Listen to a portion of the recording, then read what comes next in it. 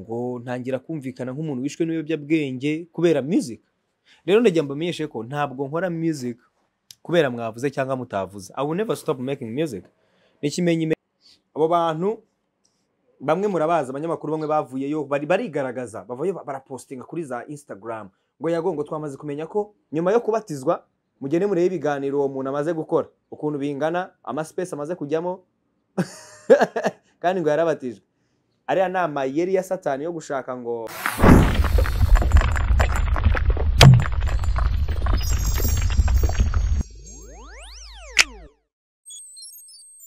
Yeah, yeah, yeah, yeah, yeah, yeah, yeah, yeah, yeah. Check one, two, check one, two, microphone, check one, two. Yo, yeah, them call me a good bad boy a cooler believer, champion, most of all, for real, the teacher, the preacher, conductor, vibrator, kaboom fire. I'm Mr. Dreams, the top baddest, the top connector, the true monster, the true hustler, the humble man, the most unusual guy, the motivator, the extravaganza, a number one rapid test boy. I live the life I love, and I love the life I live. The top shot, number one baddest. Yago, representing Karicha, music and best interview ever. Yo, yo, yo, yo, yo. Kuku umugambi w'imana si uw'ejo oh, nananana si uw'ejo imuga epiriya epiriya mu buzima budafise forme udafise forme fore saba kuvumiliya wetuliya inyenyeri ya wizaka. wamfashe ikiganza unjyanaho nakwijyana undinda ibisitaza mu isi ishaza wamfashe ikiganza unjyanaho nakwijyana unkoresha ibitangaza mu isi ishaza unankorera iyo madorari. umutipe wo mu cyaro cya tabagwe mama dowori sinigeze nikoza ntibari ngo nkunde nkorera iyo madora onananana kuko umugambi w'imana si uw'ejo oyayayaya si uw'ejo uwo mugambi w'imana si uw'ejo Oh na na na na na na na suejon. Ari vyombo maja gaga gashira iyo. Kwigira ndigabo nkabikatira onana. ndabizi ko n'ubw'isi nyerekeye yeah. insechera gahunda ariyo kunduma iye yeah. I wanna be careful muri aya masasu. Ntazacokoza cyane trigger nkahura n'imyaku Mm, be careful muri aya masasu ntazacokoza cyane trigger nkahura n'imyaku burya mburiye ibumoso. Nanashakira iburyo aho kugira ngo mbiva namenye ko life goes on aho kurya amakoto nzajya nimenyera izanjye na story zanjye zitwika story zanjye nzareka. Story zanjye zibasaze muzihabe story zanjye zitwika story zanjye nzareka story zanjye zibasaze bazihabe yeah. yes nk'uko nari maze kubibabwira rero nk'uko nari maze kubaririmbira ni izo ni indirimbo nakoze ni indirimbo suwejo ni indirimbo nitiriye alubumu yanjye alubumu ya mbere. Eh, abenshi mwaje mu gitaramo mwarabibonye mbashimire cyane. Indirimbo yitwa amashagaga niyo latest song yanjye. Ni indirimbo ni indirimbo imaze amezi abiri igiye hanze. Ni indirimbo mbavugamo story zanjye n'ubundi ari na byo n'ubu ngarutsemo. Mm, muri chorus y'indirimbo ndaririmba ngo ngo story zanjye zitwika story zanjye nzazireka nzareka zibeho nzareka yo zibasaze zibahabye. Ugere mu indirimbo yitwa amashagaga irimo irimo actually irimo irimo bimwe mu bintu maze iminsi ncamo. Nari nabiririmbye mbere yuko bingeraho ndagira ngo menyeshe n'abantu by the way. Eh, hari abantu baba bazi ko bino bintu ibintu bimbaho wenda ngo ntabizi. No bijya kumbaho mbizi muba mu kuko ngewe imana yanjye imana nsenga inyereka ibyo mugiye kunkorera mbere yuko munabikora nshimire n'imana cyane. Kuko njye hari ibintu byinshi mbona hari ibintu ndwana na byo wenda abantu bo kuri Yago mwe mutanazi ariko reka mbasuhuze mu izina rya Yesu. Abantu bo kuri Yago reka mbasuhuze mu izina rya Yesu. Abantu mwese murimo kora kino kiganiro mbasuje mu izina rya Yesu kandi Imana ibaho umugisha. Mm, nje kuganira namwe hari ibyo nifuza kubabwira hari ibyo mumaze iminsi mubona ku mbuga nkoranyambaga hari ibyo mumaze iminsi mwumva ku izina yago hari ibyo nje kubabwira rero bimwe na bimwe. Kubera ko iyo tuvuze iyo tuvuze baravuga ngo tuririza bamaze kubiha izina. Ariko natwe twamaze kumenya ko the more turira cyane the more bibakanga kubera ko barabizi ko barabizi ko bakora ibintu biri biri evil evil evil evil evil shit. You get? Ni na yo mpamvu twebwe iteka ryose iyo duteye dutera mu izina rya Yesu iyo duteye dutera mu izina ry'Imana. Ntabwo muzumva twateye ngo mwumve ngo ngo twateye ngo mu izina ngo ryacu. No no no no. Twe ntabwo dutera mu izina ryacu ahubwo twe dutera mu izina rya Yesu. Kubera ko eh, satani muri ino minsi satani arimo arakora cyane kandi arimo arakorera mu bantu arimo arakoresha abantu. Ndagira ngo mbamenyeshe ko hari ibintu wenda mu mutabona cyane ariko ndagira ngo mbamenyeshe ko satani asigaye afite abakozi ahemba. Eh, ku kwezi. Satani asigaye ahemba ku kwezi ku cyumweru hari abantu bahembwa na satani. Satani asigaye akora cyane. So abantu bamenye imana bazi imana birabasaba kuba maso cyane no kongera kandi kuyegera. Ni na yo mpamvu ibintu nje kuvugira hano na ibyo ibyo abantu barimo ku expectinga birashoboka ko atari byo bari bwumve. Eh ko kuri ino nshuro ndashaka ko tu tuza kuvuga cyane ku, neza y'Imana kugira neza kw'Imana. Turagaragaza bimwe mu byo tuje kubabwira bimwe mu byo tumaze iminsi ducamo. Ariko ingingo nyamukuru uyu munsi ndashaka ko tuza kureba tuze kuvuga kugira neza kw'Imana tuze kuvuga ineza y'Imana. Imana yaraturinze iturinda big time. Turinda kuva umwaka watangira tugeze mu kwezi kwa karindwi tumaze gutora umukuru w'igihugu turi fresh tumeze neza twinjiye muri manda nshya. Yo! Bivuze iki ibyo ngibyo? Bisobanuye iki? Bisobanuye ko tugomba kuba maso cyane. Tugomba kuba maso cyane eh, hari byinshi rero maze iminsi mbona uko hari ibyo nabonaga namwe twabaga twaboneye icyarimwe. Benshi wenda muri mwe baka bakagira ngo wenda ndanabizi ariko I'm going to clear everything. Ndashaka kuriyaringa ibintu byose byagiye bimvugwaho mu minsi ishize. Mm, cyane cyane ibishingiye kuri cano ari naho ari na yo mpamvu ushaka ko tuza gushima Imana cyane. Tuze kwibanda mu gushima Imana cyane n'ibyo Imana yadukoreye kuruta kuba hari ibyo twa eh so ni na yo mpamvu ushaka kugira ngo duhere kuri ku bijyanye na n'urugendo rwanjye. Reka nce ku rugendo rwanjye muri make gatoya kugira ngo abantu bakurikiye Yago TV show. Abantu mwese mwadusengeye abantu mwese ndaza kugira umwanya wo kubashimira ku by'umwihariko abantu mwadusengeye abantu mwatubaye hafi. Ndaza kubashimira by'umwihariko. Ndaza gufata umwanya wo kubashimira. Eh, kubera ko igikorwa turimo ubu ngubu ni icyo gushima Imana. Tuje gushima Imana tugira n'ibyo dusobanurira abanyarwanda kugira ngo abari mu rujijo baruvemo. Uyu munsi turi turi kuri channel ya Yago TV iriho cyangwa ifite ibihumbi magana atandatu na cumi na bibiri nibo abantu bamaze kujyaho kugira ngo rero munamenye wa mugani ko channel tunayifite mu biganza byacu reka ndebe abantu bamaze kujyaho ntabwo naherukaga kurebaho. Ubu ngubu dufite abantu ibihumbi magana atandatu cumi na bibiri ndetse n'abantu magana atandatu mirongo irindwi na babiri. So nibo bantu dufite ubu ngubu nibo bantu bakurikirana Yago TV ubu tuvugana. Hanyuma urumva abo bantu ndaza kugira umwanya wo kubashimira wo kubashimira ku, ku giti cyabo munyemerere duhere ku rugendo rwanjye. Urugendo rwanjye mm, natangiye urugendo rw'itangazamakuru bibiri na cumi na gatandatu nakoreraga kuri Goodrich TV ni televiziyo ikorera hano mu mujyi wa Kigali eh, ifite itambuka kuri Star Times. Sinzi niba yari bari bajya kuri Canal sinzi niba bari bajya kuri DSTV ariko aho mperukirayo ngewe bari bari kuri Star Times. Ntangirayo bibiri na cumi na gatandatu ndabyibuka mu kwezi mu kwezi kwa karindwi.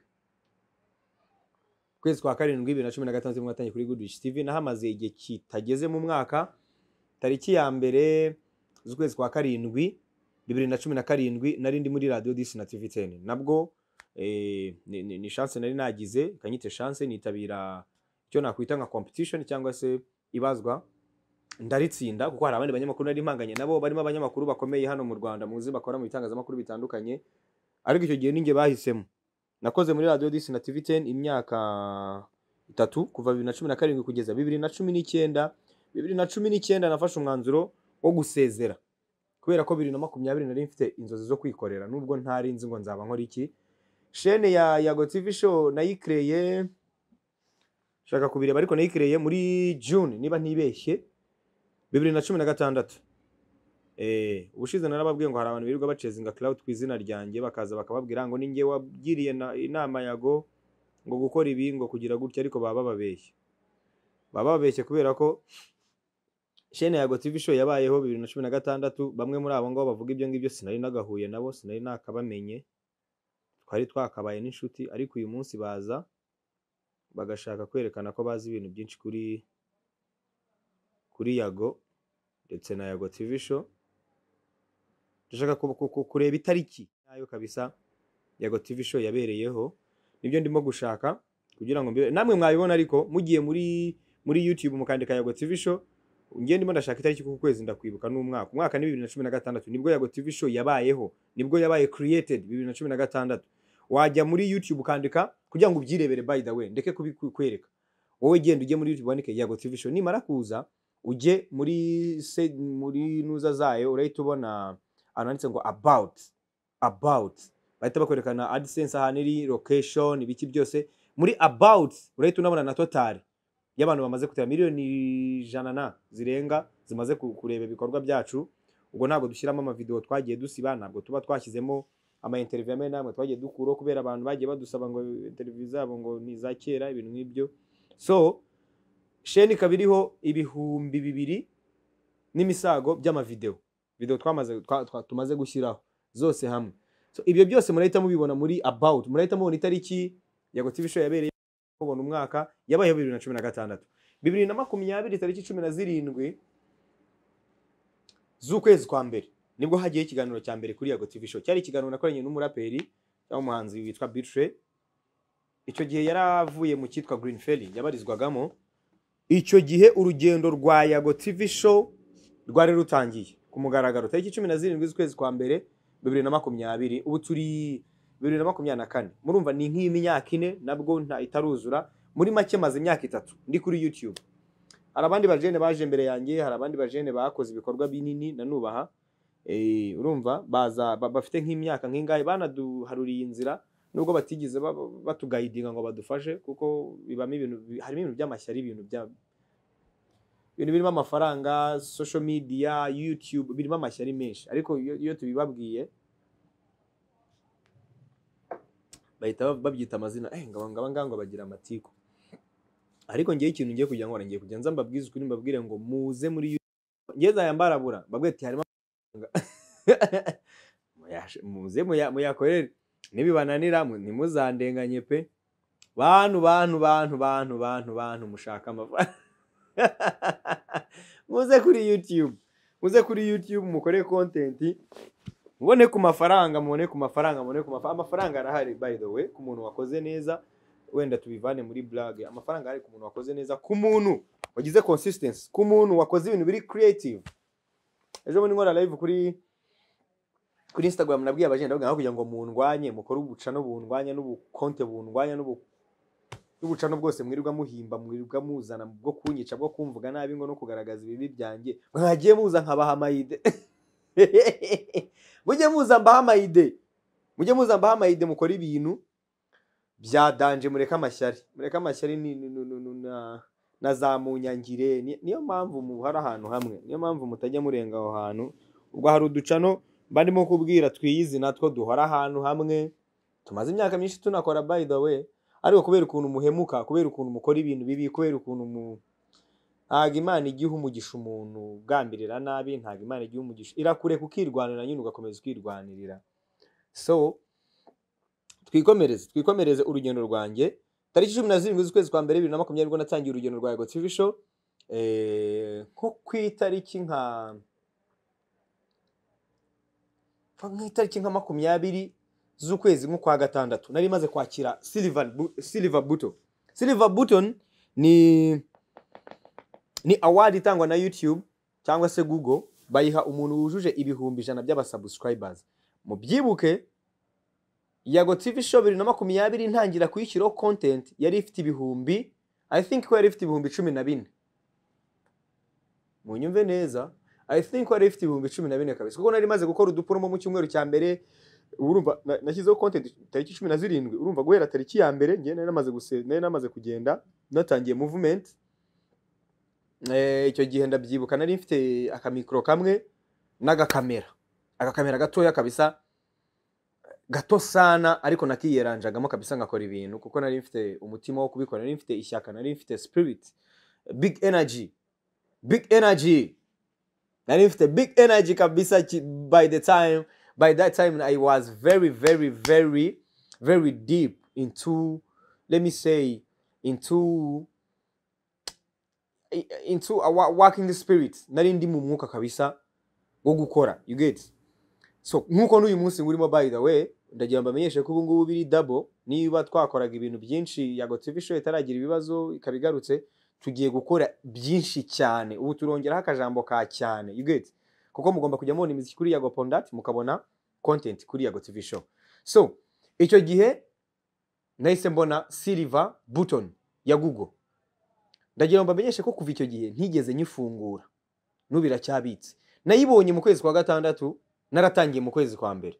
Bivuze ko ibihumbi cumi na bine natangiranye na byo niba atari cumi na bibiri nahise nshyiraho hafi ibihumbi mirongo icyenda. Mu mezi angahe? Ba. Cano iba iba ibaye cano abantu bayikunda ari benshi ndabashimira cyane. Dutangira ibikorwa bya charity dufasha abantu turemera abantu ubuzima duhindura duhindura bimwe mu mibereho y'abantu batandukanye. Eh, ni ho twagiye tugera ku bantu batandukanye mwagiye mubona kuri yago tv ibyo byose byari ibikorwa n'ubundi byari bitwimirije imbere twavuga ngo tugomba gukora bino bintu. Kubera ko ibyo nkora byose ngewe buriya mba numva ndimo kubikorera ngewe ariko kandi nkanabikorera igihugu cyanjye. Eh ngewe ibintu byose nkora abantu bose mfasha. ko njye sinzi kurobanura ngo uyu ni uyu ngo uyu ni uyu oya. Iyo mbona ukeneye ubufasha ndabuguha. Ntabwo ngendera ngo uyu nguyu ngakomoka ngo ihuye ngo uyu nguyu ngakomoka ngo oya. Ntabwo ngira ntabwo ngira ironda koko nta nubwo ngira ironda karere nta nubwo ngira ironda bwoko. No no no no no no nimusubira inyuma mukareba ibikorwa byanjye nakoze mukareba videwo mukareba abantu nasuye mukareba abo twahinduriye ubuzima. Ibyo ubwabyo birabibereka. Birabibereka ko ntabwo ngenzi kurobanura. Iyo ukeneye ubufasha ndabuguha iyo wabaga unkeneye nkabona kabisa bi- ni ngombwa. Narabikoraga nta nta kurobanura nigeze ngira nta negative energy nigeze ngira. Radio dis a- abahanzi twakoranye barabizi abo nafashije barabizi abo nahaye ama interviews abandi banyamakuru nta muhanzi n'umwe nigeze nishyuza. Eh nta muhanzi n'umwe nigeze nishyuza nkora muri radio dis na tv10 mu gihe cyanjye cy'imyaka itatu. Kandi nakoraga nakoraga neza. Nakoraga neza kuko nabaye umukozi nabaye umukozi w'ukwezi inshuro ngira ngo nka zingahe muri radio dis na tv10 kandi icyo gihe twarakoraga cyane. Twari abakozi harimo abakozi b'abahanga sana harimo abakobwa b'abanyabwenge bazi gukora ibyegeranyo bazi kuvuga amakuru fresh. Eh hari hari competition iri ku rwego rwo hejuru. Ariko nisanga nabaye umukozi w'ukwezi. So ayi nari wa muntu nyine ukora. Kandi n'uyu munsi ndacyakora. Ni na yo mpamvu ni na yo mpamvu mubona bino bitero byose bingeraho. Udakora njye nkiryamira hariya mwaba mwumva ibindi. Ariko kubera ko nyine ngenda umukozi iyo ntakora ahubwo kiba ari ikibazo ngenda umukozi. Eh ubwo nimubona nta- ntagikora nyine muzajye mumenya muzajye mumenya ko ntameze. Mumenya ko narembye kuko ngiye gukora bituma ubuzima bwanjye bugenda neza. Njye ntabwo nkora kugira ngo mbone amafaranga. Hari abantu bitiranya rero ibintu. Njye ntabwo nkora ngo kugira ngo mbone ibifaranga byinshi oya. Njyewe nkora kubera ko iyo nkoze gukora kwanjye bituma ubuzima bwanjye bugenda neza. You get? Hari abantu baba bazi ko natwaye n'iby'isi hari abantu ngo bari bazi ko kubera nyine kubura cano ngo narapanitse ngo depression ngo irenda kunyica. Yo njye mba nkomeye kubera ko umuntu wese wamenye yesu umuntu wese wamenye imana bitarimo kubeshya. Hari abantu bamenya imana nyine birirwa babivuga birirwa bavuga ariko mujye murebera ku bikorwa byabo nyine no ku mbuto zabo n'amagambo yabo. Imana igira urukundo. Imana umva ikintu kizakubwira umuntu ufite imana muri we ni amagambo aturuka hano. Ubu ngubu ashobora kukwereka bibiliya ashobora kukwereka ko yakirijwe ashobora kukwereka ko yabatijwe ashobora kukwereka ko ya ariko ibintu biva hano ni byo bikubwira umuntu ufite imana cyangwa umuntu wamenye yesu. Umuntu wamenye yesu aribungenga ubu kubera ko namenye yesu hari amagambo ntavugira hano. Kubera ko namenye yesu hari ibintu ntakorera. Kubera ko namenye yesu hari hari abantu bampemukiye ntashobora njye kwitura. Ngo kubera ko ngo bampemukiye ngo nze mbiturire kuri kamera za TV show no. Kubera iki? Kubera ko namenye yesu. Ari na yo mpamvu nababwiye ngo ibintu byose turi buvugira turabivuga mu izina rya yesu turabivuga mu izina ry'imana. Nta rwango rurimo nta buryarya nta guca ku ruhande nta nyine nta nta kintu na kimwe kirimo gihishe. Ubwo ibyo ni byo nishyuye ku, bihe nagiriye muri radio disi nshimira abayobozi ba radio disi twakoranye icyo gihe harimo uwitwa jado castad mushimire cyane. Ya- yambereye umubyeyi mwiza yampaye guidance nziza cyane. Nubwo hataburagamo n'abandi nabaga ndimo gukorana nabo ariko nabo batanyifuzaga batanshakaga kubera ko hari abifuzaga guhereza abanyamakuru bari ba- bavuye kuri televiziyo yari yamaze gufunga yitwa royo hari abantu bari bari muri radio disi na tv 10 kandi banini bifuzaga guha akazi abari basezerewe muri royo icyo gihe royo yari televiziyo ikomeye yari ifite abanyamakuru bakomeye. Icyo gihe byari urugamba rukomeye nanjye kuba nabona uwo mwanya ariko imana nyine yarabikoze. Nkunda kubwira abantu ngo imana ibirimo mfite hashtag ivuga ngo imana ibirimo. Ibyawe imana ibirimo ibyanjye imana ibirimo ibyacu twese imana ibirimo. Nakomeje urugendo bibiri na makumyabiri nk'uko nabibabwiye natangiye yago tv show bibiri na makumyabiri mu kwezi kwa gatandatu mbona silver buto. E, mu kwezi kwa cyenda nateguye igitaramo e, nagombaga guserebura iyo silver buto nkashimira n'abantu. Nateguye igitaramo hari n'abahanzi hari n'aba influencers. Nahaye ama invitation nishyura. E, mfata sale ya Serena Hotel ndayishyura.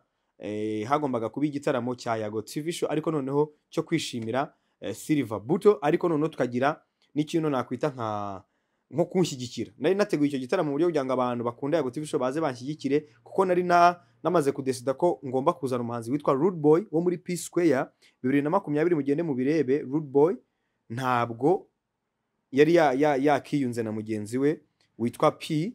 Icyo gihe rero Rude Boy twaravuganye ndamuporopoza aranabinyemerera anca n'amafaranga numva ntabwo anca amafaranga menshi kubera ko twajyaga tuvugana dufitanye n'indi mishinga. Yo numva ngiye gukora igitaramo cyo kuronshinga nyine yago TV show nanamurikira abantu eh, Silver Buto. Kuko ndabyibuka tugitangiye bibiri na makumyabiri hari aba bloggers babiri ntabwo ndi bubavuge. Bafashe logo ya yago TV show ebana bayicishamo imirongo itukura baravuga bati yo uyu mujene agiye kubonabona. Kakaniga kagiye kubonabona. Ibyo na byo ntabwo nababwira aho byaturutse bashatse kunkoresha ngo muri Miss Rwanda njye mbaha amakuru ngo ngo njye mbaha kuko njye nari mfite access muri Miss Rwanda. Njye mbaha amakuru ngo, ngo, bajye banyishyura ku kwezi ngo amadolari ngo magana angahe ndagira ngo mbamenyeshe ko hari abantu bari muri Amerika cyangwa Canada cyangwa mu bihugu byateye imbere baba bafite abakozi hano muri Kigali. Bafite abanyamakuru b'abakozi babo bafite abahanzi b'abakozi babo bafite aba influencers b'abakozi babo. Ni na yo mpamvu mubona hari aba, abantu biyita aba influencers ariko bahora mu gutanishinga izina ry'abandi ariko kazi bahoramo murababona ku ma space. Murababona ku ma space. Bagahora ari byo bintu. Uk- ukumva nta space nziza ya- yabayeho. Habayeho space mbi. Abo bantu mujye mumenya ko ni abakozi eh ni abakozi barimo barishyurwa. Barimo barishyurwa bavuga ati mukore ibi mukore ibi. Mubi- mubimenye mubimenye. Nimukabona umuntu aza akicarirwa bakamuvuga. Cyumweru cya mbere cyumweru cya kabiri cyumweru cya gatatu mukagira ngo ni uko ari umuntu mubi. No bishyuwe. Bishyuwe barimo barahozaho barashaka gutanishinga izina mpaka abanyarwanda mpaka mubyumvise uwo muntu mukumva ko ari mubi mukamwanga kuko ni cyo bashaka ni cyo bagamije bagamije ku bagamije nyine kwangisha abantu abandi. Mugende mubarebe nanzajya mbaho utumenyetso dutoya.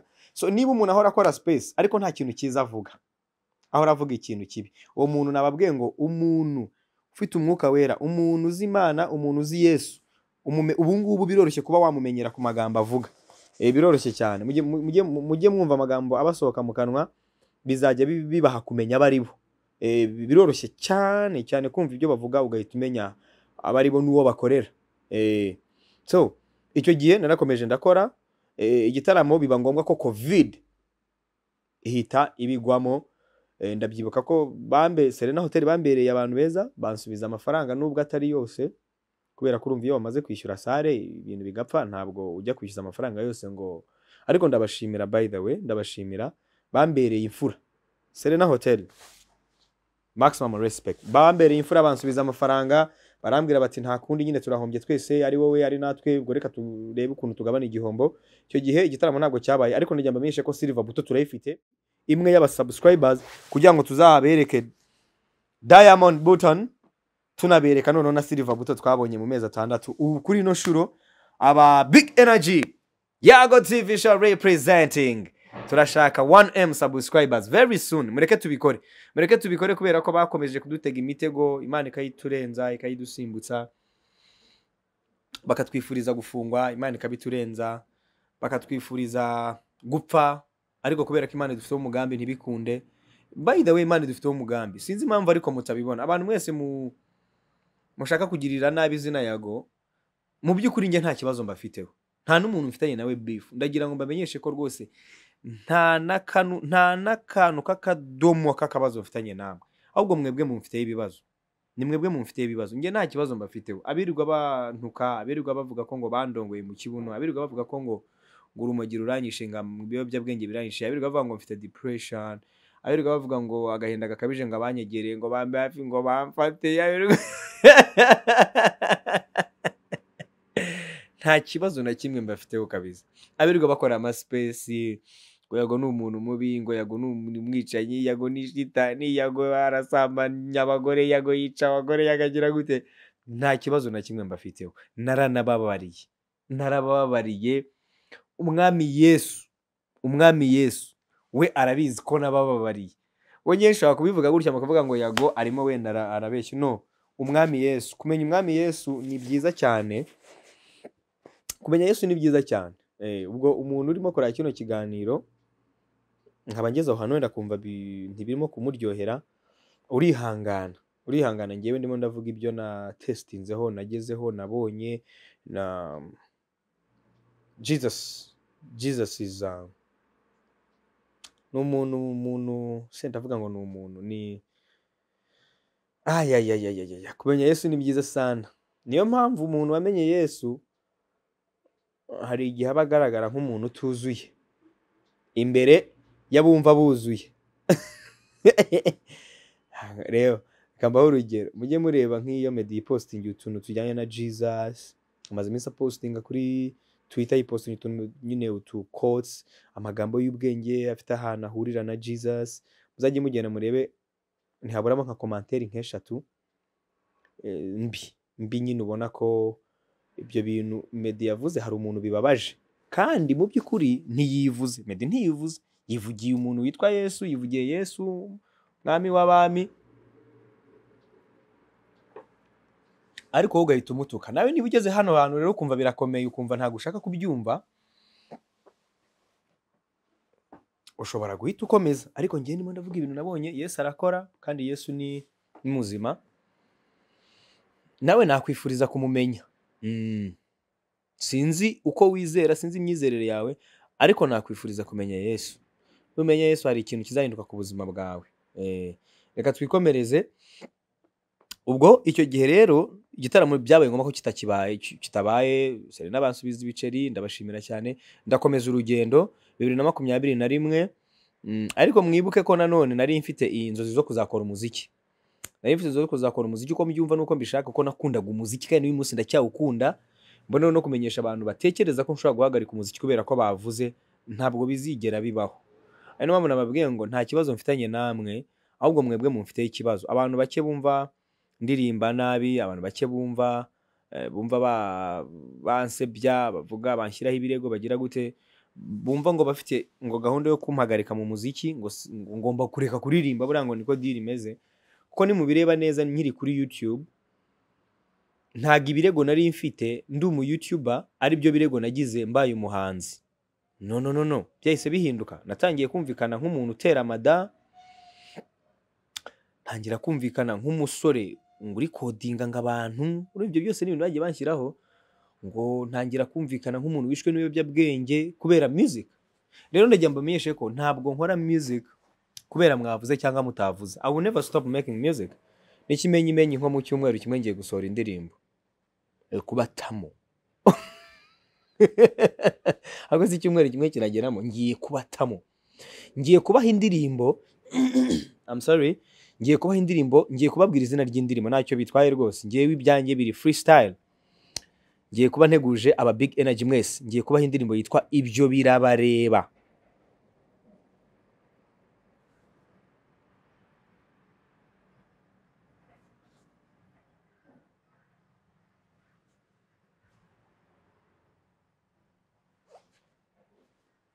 Ibyo? ibyo birabareba. Nge mva nta muntu n'umwe ufitanye nawe ikibazo nta muntu ufitanye nawe beef muri showbiz nta muntu ufitanye nawe beef mu bantu bo mu rwanda nta muntu mfitanye beef n'umwe nawe. Ahubwo abantu mwebwe mumfiteho beef. Mumfiteho inyama. Mumfiteho bife. Abantu- mwebwe mumfiteho bife.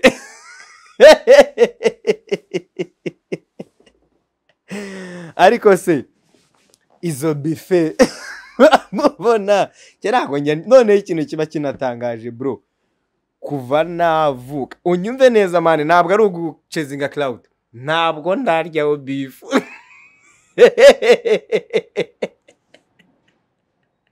ntabwo ndarya bifu ibyo bisobanuye iki? Niba ntararya bifu kuki murimo gushaka kunzana muri bifu njye nta bifu mfitanye n'umuntu ariko bo bangiraho bifu kubera ko bo ubwabo imikorere yanjye cyangwa ibyo nkora biba- bibatera ikibazo.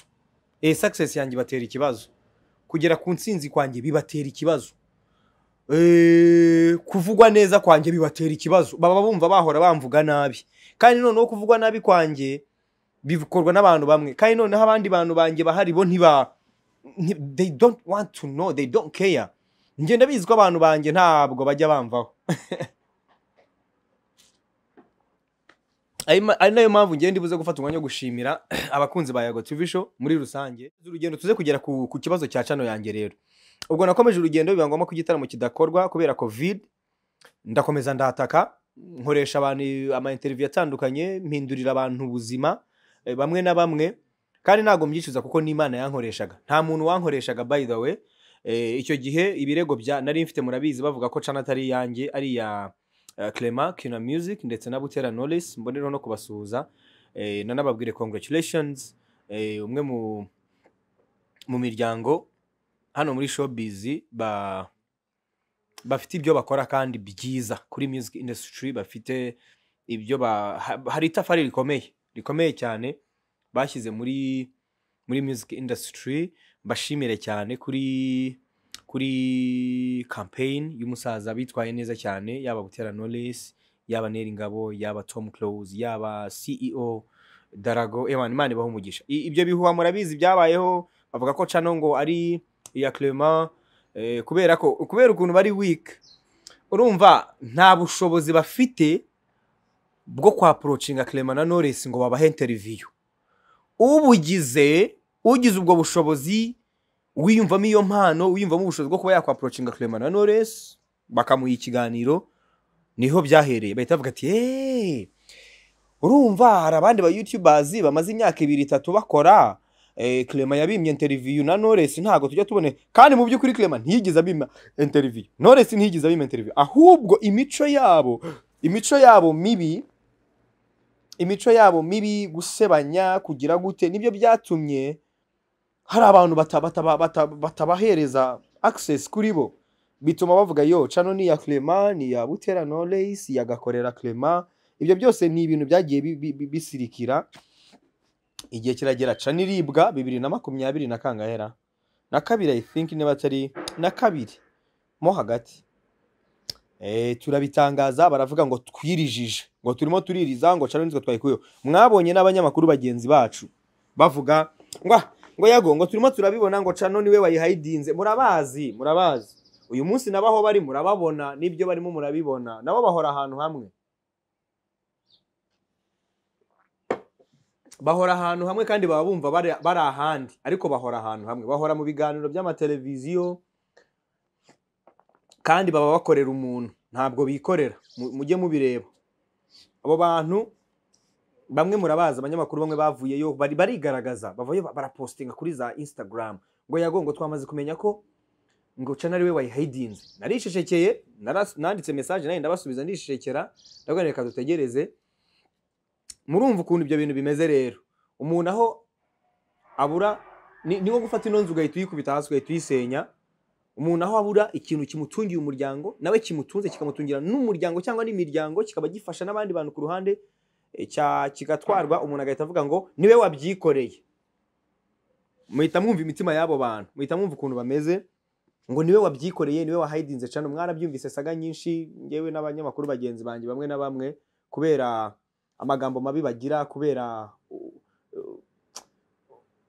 reka re- re- reka nkoreshe rino jambo kubera ubwicanyi bagira ariko buciye mu magambo kubera ko uyu munsi uyu munsi igihugu cyacu gifite amahoro ntabwo uyu munsi wapfa kujya ngo gushakisha umuntu ngo umwice cyangwa ugire gute hari izindi mbaraga wenda wakoresha ariko uyu munsi igihugu cyacu gifite amahoro gifite n'umutekano rimwe na rimwe hari igihe baba banikandagira. Eh, banikandagira ariko umuntu ushobora kuza akagushinyagurira akavuga ko cana ari we wayihishe ari we wafashe imbehe. Ibaze kano ga- ka- kano kaji ndimo kwinywera. Nkafashe gutya. Mbizi ko ariko kaji nsigaranye imbere n'inyuma gashobora kuzamfasha ejo nkamena.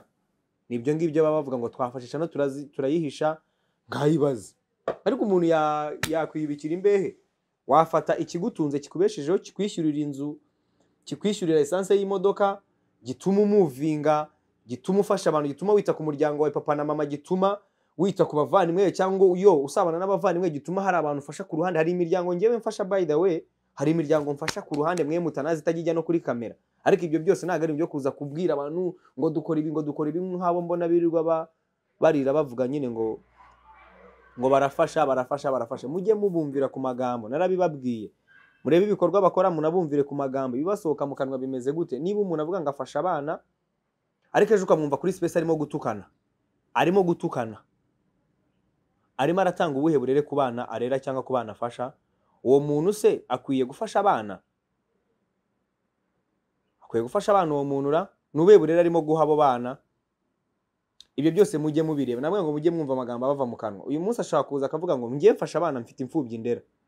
Ariko ukamusanga muri space arimo gutuka umwana w'umukobwa w'imfubyi nawe uri ku mihanda ya social media ukumva arimo aramutuka. Aramutuka cyane! Aho ugira ngo amufashe. So ibi byose mujye mubibona. Namwe ngo mubirebere mu magambo. Amagambo abaso- abasohoka mu kanwa ameze gute? Niho muzamenyera. Niba bafite imana ibyo barimo kubabeshya ngo baragenda ngo bakabatizwa. Hari abagira ngo bakorore cloud. Ndagira ngo mbamenyeshe ko biriya bikorwa byose mwabonye ngo byo kubatizwa ni ugukurura cloud. Kugira ngo abantu bongere babagirire icyizere babone ngo bakijijwe. Ariko nababwiye ngo mu- murebere hano. Umuntu wakijijwe wakiriye yesu nk'umukiza. Umuntu wakiriye yesu nk'umwami n'umukiza we. Ururimi rwe rukwirakwiza inkuru nziza. Ntabwo rukwirakwiza inkuru mbi. Ururimi rwe rwifuza kuvuga ibyiza umwami yesu akora. Rwifuza gu- gushyigikira abantu no gufasha abantu. Ntabwo rwifuza gusenya. So nyuma yo kubatizwa mugende murebe ibiganiro uwo muntu amaze gukora. Ukuntu bingana amasipesi amaze kujyamo. Kandi ngo yarabatijwe. Ariya ni amayeri ya satani yo gushaka ngo kubereka ko yakijijwe yakiriye agakiza yabatijwe ariko mumenye ukuri. Mumenye ukuri mumenye ukuri. Kumenya umwami yesu no kumwemera kumumenya no kumwemera biratandukanye. Eh ushobora kumumenya ukajya urabwira abantu ngo ndamuzi. Mm, namwumvise mu bitabo numvise ibitangaza yakoze. Ariko kuri ino nshuro noneho mugenzura amagambo abasohoka mu kanwa amagambo bavuga. Biraza kubafasha kumenya ufite umwuka wera kumenya ufite imana kumenya uzi yesu n'u- n'ugendera ku mategeko kuko imana imana ifite amategeko ifite ibyo yavuze muri bibiliya biranditse ifite ibyo imana yaravuze kandi yararangije nta nta bindi dutegereje. Ku bantu basoma barabyu- barabyumva. Abantu basoma bibiliya barabyumva. Imana yaravuze imana yararemye imana yarakoze imana ibisigaye eh, iby'ingenzi turabifite yarabiduhaye. Hanyuma ubu ngubu noneho ibyo umuntu avuga ibyo umuntu asohora mu kanwa ke mujye mubyigiraho mu- mumenye byinshi. Ubwo urugendo rwarakomeje cana ivaho baravuga ngo ninjye wayihishe ngo kugira ngo mbone attention y'abantu. Bibiri na makumyabiri na kabiri cana iragaruka ndashimira abantu bagize uruhare kugira ngo igaruke. Ariko icyo gihe byari amayobera kuko nta muntu wigeze ugaragazwa. Nta muntu wigeze yerekanwa ngo bavuge. Ni na yo mpamvu abantu bahise bavuga ngo yagwaririza. Kubera ko hari umunyamakuru munini akaba n'umudije wari wamaze gutangaza ko nyine yago yirijije ko ari we wahayidinze cano wawu narabibonye ndumirwa ndavuga wawu kumbe ndi kumwe n'abantu bameze gutya mwarabibonye mu gitaramo cyanjye ibyo bakoze. Mukomeze mucunge mukomeze mucunge ibyo bakoze. Bivuye kuri cano bavuze ko cano ari wayihayidinze eh, binjiye mu matima avuga ko cano atari iyanjye ari iya Clement. Ibyo babonye bifasha ubusa ninjiye mu muziki baranyakira indirimbo ya mbere suwejo indirimbo ya kabiri batangira kwinjira mu mastudio gusibisha gukore gutuma indirimbo zanjye zisohoka zivuga nabi kugurira abaproducer kubabwira yo ibi biririmbo mujye mubikora nabi bisohoke gutya batangira kunyangisha abanyarwanda batangira kuvuga ko ari njye utera amada. Byose byose. Igitaramo kigeze umunsi w'igitaramo abo natumiye murabibuka abamfashije murabibuka n'ibyo bakoze murabyibuka. Ntabwo nshaka kubigarukamo. Gushaka kwica igitaramo gushaka kugira gute. Ibyo byose murabizi. Ariko uyu munsi they they act like they are innocent. They act like ni njyewe mubi. They act like yago ntashobotse. Yago itabi riramwishe yago arwaye depression. Yago yaravangiwe. Yago yagize gutya. Ororororo kandi nabo bafite abana. Abo banyamakuru. Abo banyamakuru mubona mwirirwa muvuga ngo kuki badashaka? Barabyaye ndagira ngo mbibamenyeshe. Barabyaye rwose mujye mubafata nk'ababyeyi. Barabyaye bafite abana ariko birirwa babahisha. Bamwe babajyanye za muhanga.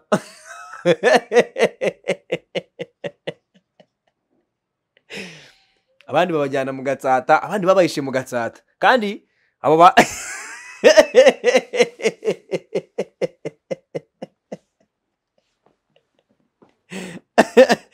bamwe bamwe bafite abana za muhanga abandi erega natwe turabizi ni uko twebwe tutazi gukora nkamwe kubera ko twamenye umwami yesu ntabwo tuzi revenge. Ariko ngewe ejo mu gitondo nabazanira abantu hano kuri yago tv bakicara. Bakicara bakavuga ukuntu mwabateye amada bakavuga ukuntu mwabyaranye nabo ba- bo bakanerekana noneho n'ibimenyetso simusiga.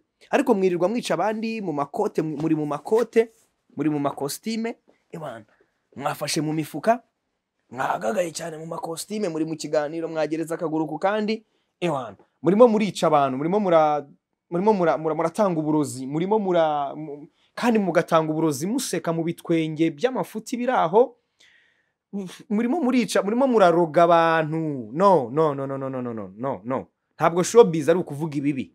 No no no no. Showbiz ntabwo ari ukuvuga ibibi. Showbiz ni ukubaka. Showbiz ni ukubaka. Ntabwo ngiye muzigera munyumva ndimo gupenerariza amazina y'abandi bantu. Hano ngo nze ngo nkubwire ngo ngo runaka ngo ibi bintu mba mbona arimo gukora. No. Ariko nimbona urimo gukora ibintu bibi kuri sosiyete nzakubwira. Kuko nanjye byangezeho ntabwo ntabwo ibi ndimo kubivuga kubera ko bitangezeho. Abo bose murabazi muri ayo matimu yabo ni ubutimu buri aho ngo bagiye bakireya mujye mubareba mubamenye. Ni ubutimu bugendana ni ubutimu ngo iyo utaburimo ngo baba bagomba kukurwanya ni ubutimu ngo bw'amatiku ubutimu kandi agatsinda abo bantu nibo bagira amatiku. Ariko nitwe bayashyiraho nitwe bahita bayegekaho ngo eh oya yago ni we ugira amatiku. Come on man. Mujye mwumva ibibazo babaza mu ma interview yabo. Mujye mureba posti zabo mujye mu- mu- mugira mute. Twikomereze.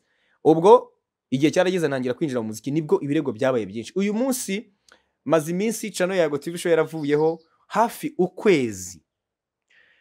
Abantu bakoresha social media mwese ndishuwe ijana ku ijana. Ko bitewe n'ibyo mwagaburiwe mwari muzi ko cana ari wayikuyeho. I'm pretty sure 100% ko bitewe n'ibyo mwagaburiwe bwa burozi navuze mugaburirwa abantu bagaburirwa babwirwa ngo uyu muntu ni mubi uyu muntu ni mubi uyu muntu ni mubi. No kubera bihoraho bihoraho bi- ukavuga ariko uzi ko ari byo koko? Uzi ko uyu muntu ari byo? You get uyu muntu ni marira uyu muntu aririza uyu muntu aririza uyu muntu twavuga none se ubu ndimo ndarira ndimo ndavuga. Ariko ibi ngibi bo barabifata bakabyita kwiriza no kurira. Bakanabyita depression. You get ahubwo mucunge neza murasanga ari bo bafite depression y'ubukene karande ntibakuze neza bakuze banywa ubushera n'ibigage twakuze tunywa amata bakuze bakuze batozwa dukura dutozwa guca umugara bakura batozwa dukura dutozwa gukunda abantu no kubafasha bakura batozwa dukura dutozwa ibindi. Abo bantu ntabwo twabasa nabo. Ntabwo tumeze nabo nkabo kubera ko twebwe amahirwe twagize imiryango yacu yadukujije itwigisha imana no gukunda abantu. Kubaha imana no gukunda abantu. Kuko nkanjye mama mama wanjye yanyigishije gukunda imana no kuyubaha papa anyigisha kudahemukira abantu. Arambwira mwana wanjye uzakunda abantu kandi ntuzahemuke. Ntuzahemuke. Ntuzahemuke. So ibyo mazemo iminsi byacana. Ndishuwa ko hari benshi muri mwe mwari muzi ko ari njye wayikuyeho. Entre parenthese kubera iki mwari muzi ko ari njye wakuyeho cano wafata icyakugaburiraga icyo warishishaga icyari kigutunze icyari kikubeshejeho ukakibana ukakibana ngo kugira ngo abantu bagukunde niko bo babyise. Baravuga ngo yago yakuyeho cano ngo kugira ngo abantu bamugirire impuhwe. Okay ribu yatangaje ko uwatwaye cano bamufite. Ubu se mwahindura ururimi mukavuga ko ari ribu noneho eh, yafashe uwari watwaye cano mwahindura ururimi cyangwa muraza kubirekeraho? Muraza kubiholdinga mubanze munyumve mwa bantu mwe bakurikira yago tv show ibihumbi magana atandatu na kuko mwebwe ndabizi ko muri aba big energy. Abantu bose bakoze subscription kuri yago tv show. Big energy. Ndabizi. Ndabizi nta muntu nta muntu n'umwe nigize ningiga ngo mbabarire ukore subscribe. Bivuze iki? Bivuze ko umuntu wese wakoze subscribe yaje kubera content yaje kubera ibyo dukora. Ntabwo yaje kubera impuhwe nta nubwo yaje kubera imbabazi atugiriye. Ahubwo yaje kubera ko ibyo dukora bya- byabaye bira- biramwenteresa bigatuma aza kwiyandikisha. Mukomeze. Nta gihombo kirimo. Kuko ntabwo tuzigeza ntabwo tuzigera. Twebwe twigisha urwango kuri yago tv show. Ni urukundo gusa. Us- yo we gonna spread love. We're gonna love each other. We're gonna support each other. We're gonna support everybody. We don't we don't we don't we don't spread hate. And we will never spread hate in our life. Ntabwo kabisa ngewe muzigera munyumva ndimo gusipidinga urwango ngo ndimo ndakwirakwiza ngo kwanga runaka ngo mwange runaka. No. Twikomereze. Mwese mwari muzi ko ari kuyo cano so ngewe natanze ikirego cano yaribwe ntanga ikirego muri ribu nabonye n'abanditsi bavuga ngo ni gute? Umuntu ajya gutanga ikirego muri ribu ribu iziranye na google. Ariko murumva ukuntu baminimiza baminimiza ah, inzego zacu. Mwako mujye mubareba. Hari ukuntu baminimiza inzego zacu twe twavuga bakavuga ko ari twebwe noneho ngo eh ka- reka nzajya mbaha akantu ku kandi. Barandika baravuga ngo yago yasaze ngo iriya ni depression. Ngo none se ngo ribu ngo niyo ngo ngo ngeno hari n'abantu nabonye ama message yabo inbox bambwira ngo no ngo yago ngo ndikira google ngo bwira google ngo ribu nta kintu iri bugufashe no. Ribu irakora. My brother my brother ribu irakora. Eh abo ntibakubeshya ubu uzashaka uko ubigenza. Nshimire ribu mu bantu ndibuze gushimira. Nako reka mbe mbishyize kandi ndaza gushimira nsoza ikiganiro nsoza ibyo nshaka kubabwira byose. Ribu irakora. Natanze ikirego muri ribu tariki ya mbere. Rushimusi bamufashe tariki cumi na zirindwi bakimara kumufata ahakana icyaha. Nyuma aza kucyemera. Mu kwemera icyaha anemera ko hari abantu bamukoresheje hari abamukoresheje. Eh, nyuma arongera arabihakana. Ariko kuri ino nshuro kuri ino nshuro iyi videwo umuryango we nkeka ko bari buze kuyireba. Turifuza kumenya abantu yakoranye nabo bose. Kugira ngo niba ari n'imbabazi dutanga tuzitanga ariko twamaze kumenya abantu bose yakoranye nabo ibisigaye ni iby'ubugenzacyaha ariko kandi araregwa ibyaha bigera muri bitanu bishobora kumufungisha imyaka myinshi. Bivuze ko anytime aramutse ata atavuze abamutumye abo yakoranye nabo kuko ah, hari ibyo yavuze mbere ariko nyuma aza kubihakana. Agomba kuvuga abantu bamukoresheje. Nk'uko yatangiye avuga ko yakoreshwe ngo n'umuntu witwa ngo buraza muri amerika ibiki? Tukaza kubona ko ibimenyetso byose ari we bifata nk'uko urwego rw'ubugenzacyaha RIB bwabyerekanye cyangwa bwabitweretse agomba kugaragaza abantu yakoranye nabo cyangwa abantu bamukoresheje nabo bakajya ahagaragara. Mukabamenya. Kuri ino nshuro noneho ntabwo ari ibintu byo kuvuga ngo turaza guhishira ngo watwaye cano ngo nk'uko byagenze. Mbere byarabaye bavuga ko ari twe twari twayikuyeho. No kuri ino nshuro mwari muzi ko koko twayikuyeho. Ariko reka tubabwize ukuri. Nta puranka tugira. Kuva natangira gukora ibintu by'aka kazi aka kazi ndimo kuva natangira gukora kano kazi nta puranka ndagira. Buri munsi ndabibabwira ngira ngo umunsi nanapfuye muzagira ngo ni puranka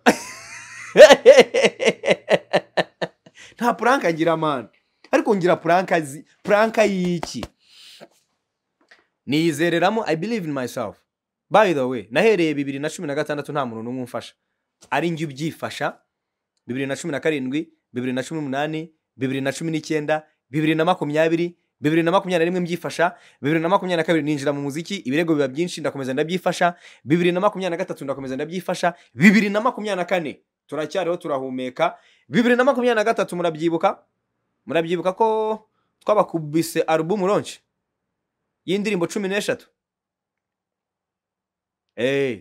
abasani batararonshinga alubumu cyangwa batarakora igitaramo cyabo muzabanze mugikore mugaruke twongere tu tuganire mwaba mukina sha mwabana mwe umunsi mwakoze igitaramo mukabura sponsor. Mukabura abaterankunga mukishakamo ubushobozi. Mugakora igitaramo kikagenda neza kikarangira. Alubumu launch ikaba abantu bakaza. Bakuzura kampu kigali cyangwa bike arena cyangwa he stade amahoro. Ibyo byose mubyibuke. Nta muntu nta muntu bro nta muntu waje ngo ambwire ngo yago ngiye kugufasha ibi n'ibi ibi n'ibi ibi n'ibi ibi n'ibi. Ibyo byose twarabikoze. Tubikora nka big energy understand? Ubwo nyine namwe muhita mwumva ibintu twaba twaragiye tuzira kuta ngo kutabasaba ngo kutabinginga ngo mudukorere ibi mugire mute tukishakamo ubushobozi. His excellence umukuru w'igihugu. Umukuru w'igihugu buri gihe arabitubwira. Wowe nutesha agaciro nta muntu uzaguha agaciro. Ngewe rero na mekinze shuwa ko nta muntu nsaba. Ndabikorera. N'uyu munsi ndacyabikorera. I don't know if you understand. N'uyu munsi ndacyabikorera. So ibya cano rero ndagira ngo tubishyireho akadomo. Kuko ubu ngubu turimo turasoza n'ubundi ku byo nifuzaga kubabwira. Ariko ndagira ngo mumenye ko nta puranka ngira. Nta gupurankinga abanyarwanda ngo nkunde sohora indirimbo. Nta gupurankinga abanyarwanda ngo nkunde ngo munkunde. No no no mwebwe muzankunde cyangwa se ntimunkunde. Kubera ko kimwe mu bintu namaze kuvumbura mu bihe byose maze iminsi ncamo ni bwo namenye ko imana inkunda kuruta uko nabitekerezaga ni nabwo namenye ko yesu amfiteho umugambi abantu batazi bo bazabona bakanumva ariko bo ntabwo bawuzi. So nahise mpitamo rero kwiberaho ubuzima burimo imana kwiberaho ubuzima burimo kwizera imana more than people kwiberaho ubuzima burimo kumenya yesu no kumenya icyo imana itegeka no kumenya icyo imana ishaka. Si ndi umwere ndi umunyabyaha ngo nta byaha nkora nkora amadega ndi umunyabyaha ngira gute ariko kandi nanone nzi icyo imana itegeka. Eh, hari aho niyungira n'imana nkayibwa mana. Nakosheje nakoze ibyaha nagize gutya ariko mbabarire mbabarire. Kandi imana ni inyembabazi. Yicaye ku ntebe y'imbabazi kuko urukundo yadukunze rurahambaye. Ntabwo ntabwo ijya itinda ku- kutubabarira. N'ikimenyimenyi yangu umenye ko imana inagukunda cyane. Kuba urimo kureba ino videwo byahereye ku mwuka urimo guhumeka. Kuba urimo kureba ino videwo byahereye ku mwuka urimo guhumeka. Imana yaguhaye umwuka wo guhumeka. Imana yaguhaye umunsi buriya byose iba yabiguhaye. Ujye ubimenya. Nubona imana yakubyukije ukumva akaboko ni kazima akaguru ni kazima umutwe ni muzima jya umenya ko byose imana yabiguhaye ubundi nawe utere urutambwe rumwe. Mirongo icyenda n'icyenda imana ira- iragufasha. Iragufasha. Cano rero ntabwo ari njye wayihishe reka mbikiriyaringe ntabwo ari njye. Ni abashinyaguzi bavugaga ko cano ari njye wayikuyeho nayigurishije ngo ibihumbi ngo cumi na bitanu by'idolari ngo cano narayigurishije ngo ngo cano narayitanze ngo mana yanjye. Umva ni byinshi byavuzwe ni byinshi byavuzwe Mm, ndimo ndajijisha kugira ngo ngo ikirego cyanjye narezwe n'umuntu muri rib ngo kiteshwe agaciro ntabwo ariko bimeze kuko icyo kirego barakirebye basanga nta gaciro gifite nyine kuko ibyo banshinjaga ntabyo babonye ntabyo ntabyo bansanganye. Kumbeshyera ngo naratocarinze ngo no byari ukugira ngo ngo bamfungishe bidafite ibimenyetso. Ariko ribu barabibonye basanga ndarengana eh, kesi yanjye ibigiyemo ya cano ubwo na byo nagira ngo mbivugeho mutazavuga ngo nanze kubivugaho. Kesi yanjye ya cano na yo icamo iciyemo yo noneho yazanye ibindi bindi bamwe bati niyo wabyikoreye ariko mu by'ukuri ntabwo ari twe. So rib ifite wa wari watwaye cano urwego rw'ubugenzacyaha. Rufite wari washimuse cano ariko cano ubu turayifite. N'ikimenyimenyi urimo urareba ino videwo bivuze ko kamemu twagarutse kandi twagarukanye imbaraga zidasanzwe. Hanyuma ikintu ushaka kubibwirira gikomeye kindi turimo gusoza eh, ndashaka gushimira abantu. Hari abantu ushaka gushimira bakeya. Hari abantu ushaka gushimira cyane bambaye hafi bamfashije. Muri abo bantu mbere ko mbashimira ubwo ibisigaye eh, by'uwafunzwe cyangwa se by'ukurikiranyweho gushimuta yago tv show muraza ku muraza kujya mubi- mu- mubimenyeshwa. Icyo nzi cyo vuba cyane muraza kumenya niba wenda afungurwa niba akomeza eh, ibyo byose muraza kubimenya. Ariko mu by'ukuri njye ntabwo mfite gahunda yo kumufungisha. Mubanze munanyumve neza by the way kuko numva gufungisha umujene ukiri muto ndamuruta mu myaka uwakoze ibyo eh, uwakoze ibyo afite umugore n'abana i think babiri ariko ni umujene. Rero gufata umujene nk'uwo nguwo ukamukubita imageragere hagati y'imyaka itanu n'irindwi eh, cyangwa hagati y'imyaka itatu niyo yaba ari umwaka umwe. Uba urimo kumudindiza kandi mu by'ukuri ngewe nabibabwiye nkitangira ndavuga ngo bo bamfiteho ikibazo ngewe nta kibazo mbafiteho. N'ikimenyimenyi ibyo bankorera bibi simbibitura uyu mujene ntabwo ngewe ngamije kumufungisha ariko nanjye hari ibyo nsaba. Eh hari ibyo nsaba. Hari ibyo agomba kubanza gutangaza mbere yuko afungurwa. Eh ibyo ngibyo rero ibyo ngibyo tuzabivugana n'urwego rw'ubugenzacyaha kubera ko niba ashaka imbabazi niba ashaka ko tumubabarira natwe hari ibyo agomba kugira gute kubanza kutwereka. Abamutumye abo yakoranye nabo kuko hari ababyigambye cana ikimara kuvaho hari umubloga w'amafuti uri uri iyo ngiyo ngo niba ari muri amerika niba ari hehe w'amafuti uhora yishyurwa ahora yishyurwa ahora yishyurwa n'abahanzi hano i kigali ahora yishyurwa n'abahanzi ngo asebye abandi bahanzi arishyurwa akaza ngo cya cya cya cya cya cya cya mu bintu biri aho by- bya giturage abantu bahora bahora neg- negativite mu mitwe mu mitima abantu bahora bumva ngo ari bo ngo ba no no no no no no no. Abo bantu erega mujye mubareba. Ntabwo abo bantu bakunda igihugu man. Ariko abo bantu bakunda igihugu gute? Birirwa bica bica imbuto imbuto z'igihugu. Erega imbuto z'igihugu niba wowe ukora amasipesi ukataka imbuto z'igihugu ukataka urubyiruko nkatwe turimo gukora kugira ngo tubeho duhindurira n'abantu ubuzima dufasha abantu kubaho tugaburira abantu. Urimo urica imbuto z'igihugu. Ntabwo rero ukunda igihugu. Ntabwo ukunda igihugu.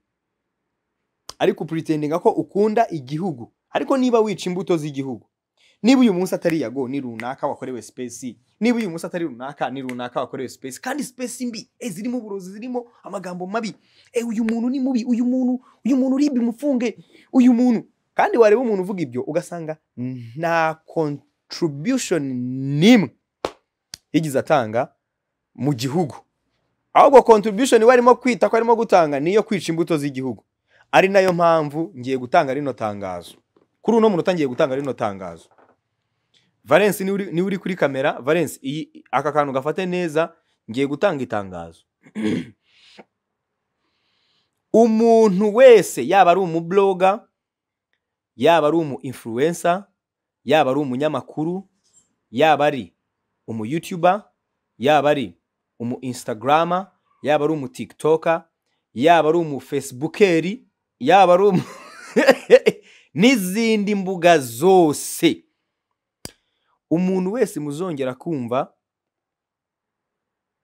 arimo kuvuga ibintu bibi ku izina ryanjye. Ndagira ngo mbabwire bwa mbere n'ubwa nyuma kuba ari ubwa mbere n'ubwa nyuma mvuze ku bantu bavuga ku izina ryanjye kandi barivuga nabi. Abo bantu ukuntu mbafata ngewe muri nge abo bantu ubu ngubu nsigaye mbafata nk'ibyondi. Ni na yo mpamvu ntazongera kuvuga ku byondi. Aba big energy mwese ahantu muri rero. Ibyondi mubihagurukire. Mubihagurukire kabisa. Nimubona itsi- itsinda ry'abantu bishyize hamwe ngo barimo barasoma ngo komenti ngo z'abafana ngo runaka ukumva. Bro ibaze ko ubugome bwabo hari n'igihe bafata mesaje bakayiyandikira. Barangiza bakajya muri telefone ngo bagiye gusoma ngo komenti ngo y'umufana. Bagahita ba- basoma ngo ngo yaguko yavuye atababwe ngo niko azasubirayo barangiza bagahita bavuga ngo ni komenti ngo y'umufana basomye. Come on man. No no no no no no. So abo bantu bose abantu bose bavuga izina rya yago nabi abantu mwese mukunda yago n'ibikorwa bye. Abo bantu mujye mubafata nk'ibyondi. Ibyondi ni inka zidafite umumaro. Zidafite umumaro mu makarita ku bantu bakina amakarita. Ibyondi byitabazwa ahantu hake.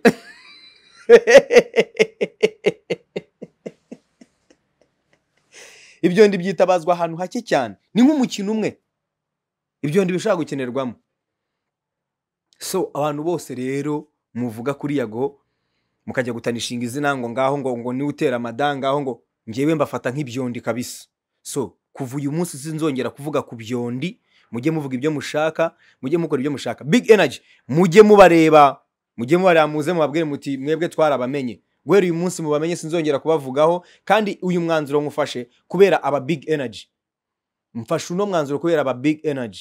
Aba bantu ni ibyondi abantu birirwa bavuga ku kuri yago nabi bavuga ngo yahishe cano ngo kugira ngo ngo aririza ngo ngo yago ngo yakoze ibi. Ibyiza ntibabivuga twabakubise alubumu y'indirimbo cumi n'eshatu ntabwo babivuga. Suwejo yarabafashije muri geto birirwa bayumva ntabwo babivuga. Tarararara bamwe twarabubakiye abandi twabaguriye ibintu bidasanzwe abandi twagize gute? Abandi twabishyuriye indirimbo nyinshi abandi twarabagaburiye. Igihe kinini kandi bashonje cyane turabagaburira. Ariko twe ntabwo twigize bidutera ikibazo. Turashima imana ko imana yadushoboje icyo kintu tukagikora. Ntabwo twe dushaka tuje hano kwigamba no. Ariko abantu bose bavuga izina yago birirwa bavuga ngo birirwa bahimba utuntu birirwa bigamba ku ma snapchat birirwa bigamba ku ma live ya instagram birirwa bigamba mu ma space. Birirwa bavuga ngo nibo baduhaye amayide birirwa birema amatsinda bagasoma amakomenti birirwa mu buganiro. Aho ngaho bavuga izina yago nabi ba- ba- ba- barivuga ibibi gusa nkaho nta byiza rigira. Abo bantu bose mujye mubabona nk'ibyondi.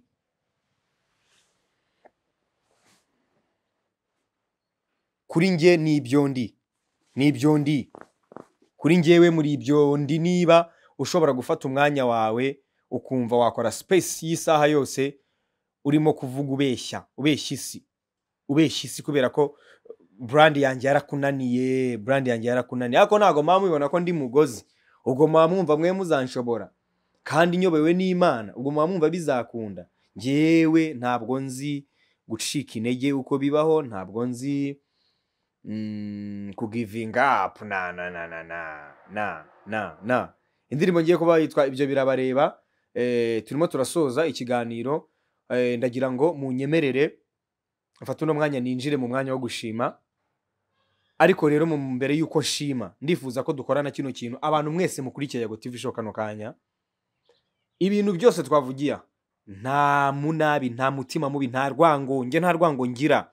Nta rwango ngira uwo mwanya nawo nabona ntabwo najya kukwanga ntabwo uwo mugogoro nawe ushobora. Ibibazo ibibazo ibi, mu bibazo mfite ntabwo icyo kibazo nagishyiramo.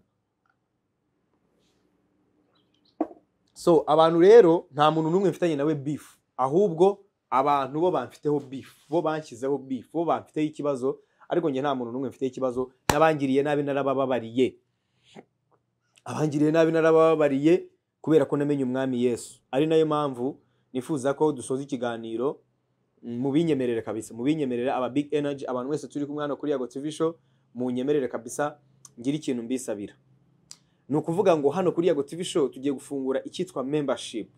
Membership ni uburyo ushobora kunshyigikira cyangwa se gushyigikira yago tv show. You get? Kuko iyo ushyigikiye yago tv show uba ushyigikiye ariko uba unashyigikiye umuryango w'abandi bantu. Uba ushyigikiye umuryango w'abandi bantu benshi wowe utazi. So membership ni ukwiyandikisha ni ukwiyandikisha dukeneye byibuze byibuze byibuze. Mwumve noneho ikintu ushaka ko dukora. Dukeneye byi- dukeneye byibuze aba members. Igihumbi. Igihumbi kimwe cyonyine. Mwibuke ko dufite ibihumbi magana atandatu na cumi na bibiri. Bijya kuba magana atandatu na cumi na bitatu. Bi- binakomeza. Ariko noneho wowe birashoboka ko n'iyi video we wayireba turi muri magana atandatu na makumyabiri wenda. Maybe cyangwa magana cyangwa magana arindwi. Ushobora kuyireba tugeze muri magana arindwi. So bisobanuye iki? Bisobanuye ko eh, tugiye gufungura icyitwa membership ni ugushyigikira yago tv show. Membership uriyandikisha by'umwihariko aba diaspora eh, ndetse n'abandi bari hano i kigali bifuza kwiyandikisha nabo rwose muremerewe. Naho hari amadolari wishyura ku kwezi amadolari nk'atanu. Aho ubu ni kudushyigikira by the way. Eh, ubwo ndagira ngo abantu mwese mwajyaga mumbaza ni gute twagushyigikira ni gute twagufasha? Kuko kameme nk'ubu ngubu wenda ni impamvu twanatangiye membership ni ukugira ngo tugire abantu bacu. Abantu bacu. Ni nka gurupe ni nka gurupe ni nko kuvuga reka dushinge gurupe ya whatsapp cyangwa se eh, nk'uko nk'uko dufite gurupe ya big energy you get? Kuri instagram. Ubwo ngubwo rero na yo ni nka gurupe ariko ni gurupe y'abantu bifuza kugushyigikira. Ba bantu bafite umutima uvuga yo let me support yago.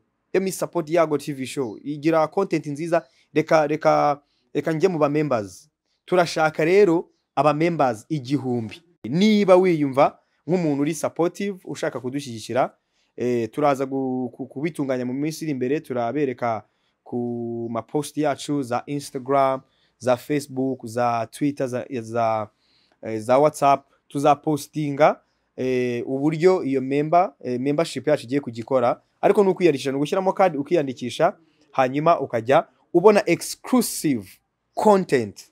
Munyumve neza. Ntabwo ari ukwiyandikisha gusa ntabwo ari ukuza kudushyigikira gusa uzajya ubona content abandi bantu batabonye.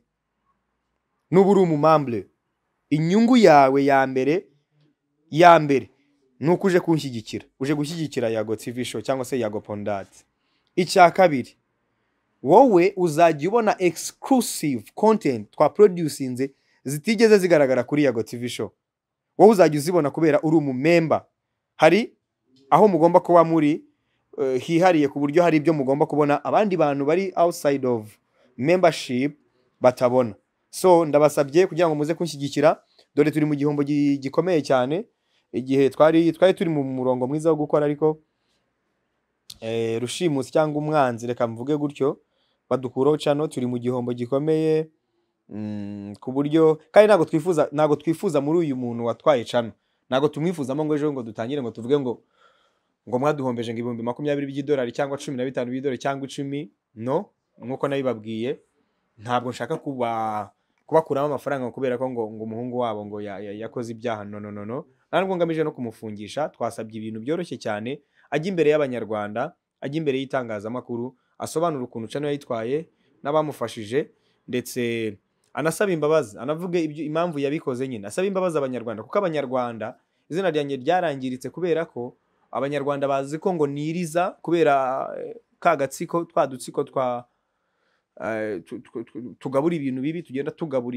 ibintu bibi hari abanyarwanda bazi ko ngo cana ari njye wari wayikuyeho. So izina ryanjye rirahangirikira cyane ku buryo abantu bamwe na bamwe nahuraga nabo bakavuga ngo ariko mwana ngo iyo cano yawe ngo uba wahishe ngo ubwo buri mu biki. Imagine njye ndi mu gikomere njyewe mfite mfite agahinda kuko icyari kinunze cyamaze kwibwa ariko ukabona abantu barimo barakubwira ngo wahishe cano abanyamakuru murabazi baje inbox yanjye bavuga ngo ko wahinduye izina rya cano ubu nari guhindura izina mene ako ako murababaza. Murababaza nuko muba mwarahuye n'umuntu utababara kubera imana. Ngewe nabibabwiye mbabona nk'ibyondi. Babona nk'ibyondi mwabibwa mwe. Ariko muzahinduke muzahinduke njye mbaha amayide muzahinduke mumenye umwami yesu muzahinduke mumenye imana muzahinduke mujye mukora ibintu byiza mani mujye musipuridinga inkuru nziza mutange inkuru nziza.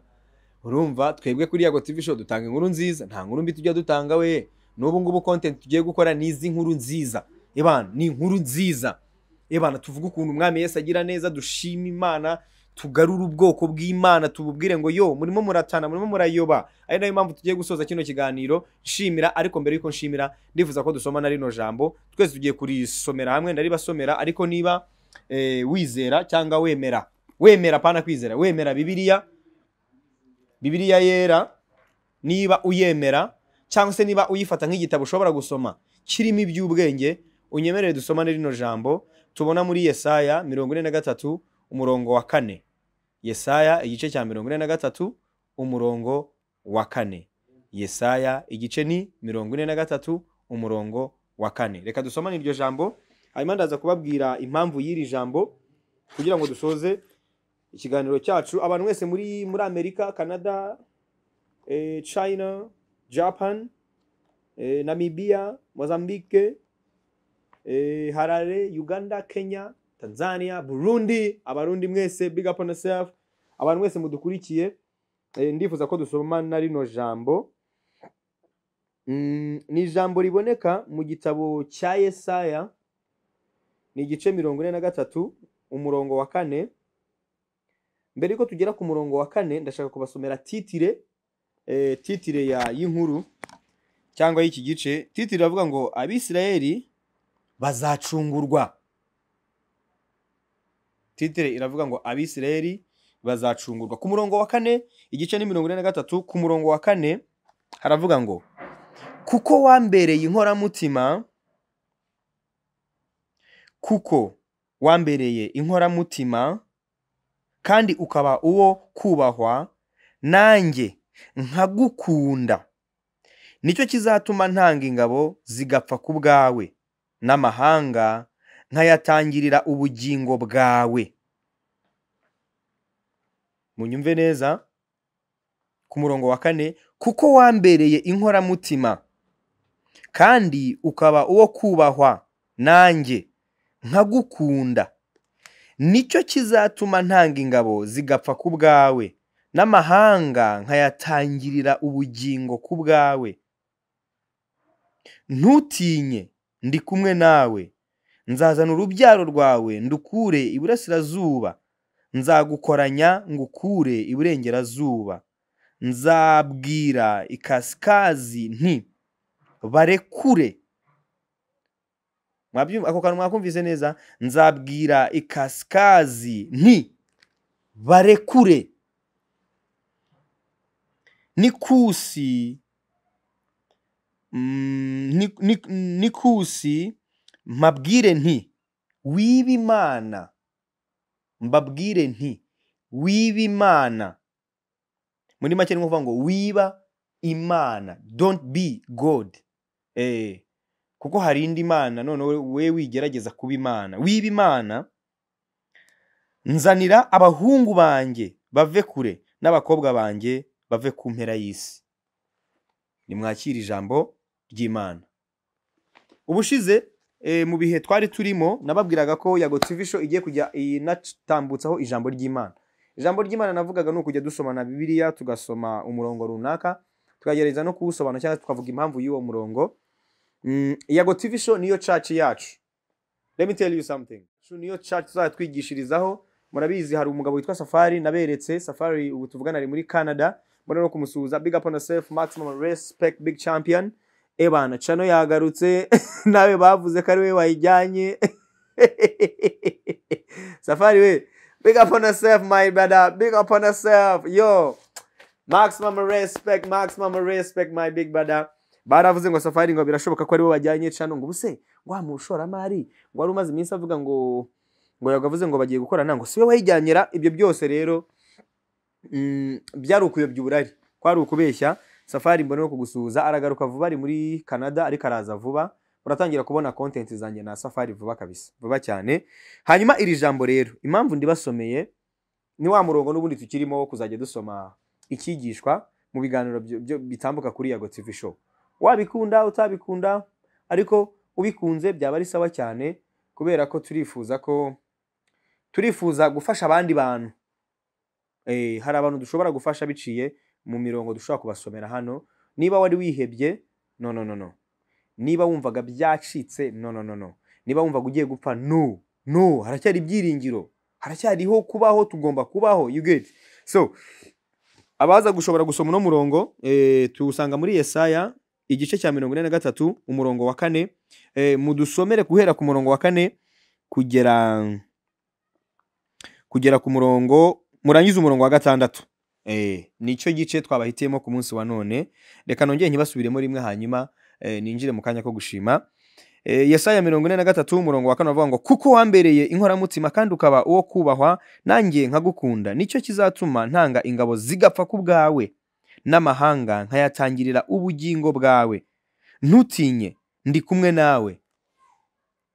Wa muntu wari unaniwe wa muntu wari ushonje wa muntu wumvaga birangiye wa muntu wumvaga ibye byanze kabisa bigeze ku munota wa nyuma imana iraguye ngo ntutinye ndi kumwe nawe. Eh, mm, ntutinye ndi kumwe nawe. Nzazana urubyaro rwawe ndukure iburasirazuba. Nzagukoranya ngukure iburengerazuba. Nzabwira ikasikazi nti barekure. N'ikusi mpabwire nti wiba imana. Nzanira abahungu banjye bave kure n'abakobwa banjye bave ku mpera y'isi. Iryo niryo jambo twabateguriye ku munsi wa none. Murakoze cyane kwigana iri jambo natwe hanyuma iri jambo impamvu ari ryo twabahitemo ku munsi wa none niryo jambo nahawe umunsi nari mu bihe bigoye. Ndihabwa biciye kuri application ya instagram. Buriya iyo ndi mu bihe bigoye cyangwa ibihe mwese mubona bikomeye cyane ni bwo ngira ubusabane n'imana yanjye. Eh, abenshi baba bazi ko ngo napfuye narwaye narembye ariko mba meze neza. Abantu baba bandi hafi bo barabizi. Mba nisekera mba numva imiziki mba nkora siporo mba ndya mbanywa mbanyuzamo nka nkanagira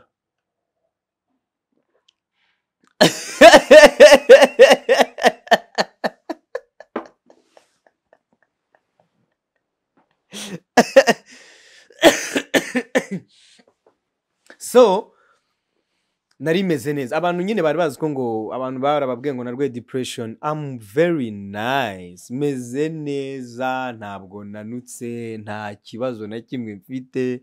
Buriya cano ivaho ntabwo nigize mpanika. Kuko n'ubundi ni iby'isi nta muntu wanga ibyiza. Ariko kandi nanone ibi ni ibintu ku isi tuba dufite tuzanasiga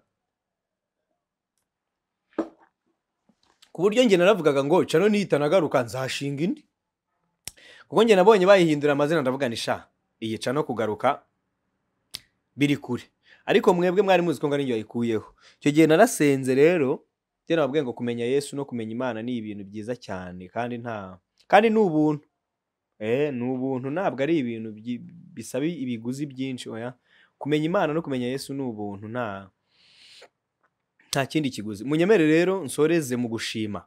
Eh ni ho nari ndimo kugana. Ndashimira urwego rw'ubugenzacyaha RIB rwadufashije gufata uwari washimuse cano cyangwa wari watwaye cano eh, ibisigaye n'ubundi nibo bazabitangaza kuko baramufite. Kuri ino shuro wa mugani wanyu ngira ngo nanjye mwa- mwageraga mukavuga ati ariko mugani ubanza ibintu ariya kubyikorera kuki abo bantu badafatwa? Kuki abo bantu batagaragazwa? Kuki abo bantu tutababona? So kuri ino shuro noneho muzabibona pe muzabibona Eh, uyu munsi ngira ngo imana yahisemo kubereka ukuri kwinshi kw'ibintu byose bagiye bambeshyera kuko na bamwe bavuze ko nabateye amada na byo muzabimenya amadiyene azafatwa kandi rwose muhumure. Muhumure kuko dufite ukuri kandi ukuri, ukuri kuratinda ariko iyo kuje kuza kuzuye ukuri kuratinda ariko iyo kuje kuza kuzuye. Ntabwo kuza ari igice. So mureke tugutegereze. Mureke tugutegereze abambeshyeye ko nabateye amada bavuze ko ngo nihakanye abana. Vuba cyane rwose. Vuba cyane bazavayo bavugisha ukuri ahubwo noneho mubone ukuri kundi. Kubera ko byose barabizi ko ari ibinyoma. Barabizi ko ari ibinyoma barabizi ko ari udukino bakinnye kugira ngo barangize izina ryanjye. Ariko imana ikomeza kundinda. Yewe nta muntu wandinze pe. Ni imana yandinze pe kandi imana yanjye ndayishimira. Buri gihe uko mbyutse nshimira imana yanjye niyo yagiye indinda ibi byose mwebwe mwagiye mubona bakashyiraho bakagira gute. Rero ninjiye mwanya wo gushima ndashimira urwego rw'ubugenzacyaha RIB rwadufashije gufata uwashimuse cano ndashimira umugabo witwa Mbabazi Isaac eh, uzwi nka Lick umwe mu bagabo b'abahanga cyane mu bijyanye na n'ikoranabuhanga. Ikoranabuhanga araryumva cyane yaradufashije cyane mu byumve cyane nimvuga cyane muyumve nka cyane ntimuyumve nka buhoro cyangwa gake ni cyane. Yaradufashije cyane Lick imana imuha umugisha musabiye umugisha uva mu ijuru musabiye umugisha uva ku mana musabiye ko imana izemera akangiriraho umugisha. Ndasaba imana ndimo, ndasaba ndasaba imana ko imana izabyemere angirireho umugisha kubera ko nanjye namugiriyeho umugisha byibuze azangirireho umugisha avuge ngo nanjye nagiriye umugisha kuri yago kubera ko nanjye namugiriyeho umugisha umuntu witwa Mbabazi Isaac imana ikumpera umugisha sana.